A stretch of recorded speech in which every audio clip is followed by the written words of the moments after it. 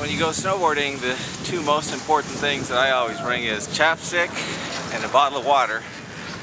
And uh, you wear your helmet and your gloves.